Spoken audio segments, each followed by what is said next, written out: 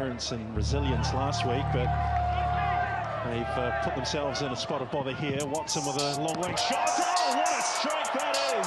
Liam Little beat Norlands up, and that could be game, set, and match. Ten minutes into the second half. You will have to go a very long way indeed to see a goal of that type of quality. That's why you gotta love Ben Watson on the field. Player of the season so far.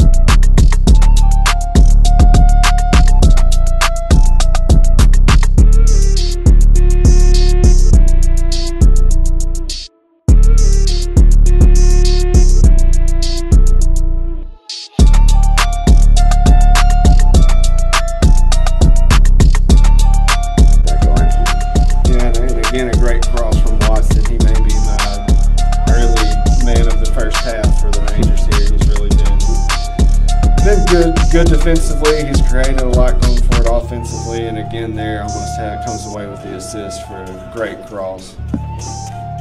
Rangers right now, good possession, nice passes. Watson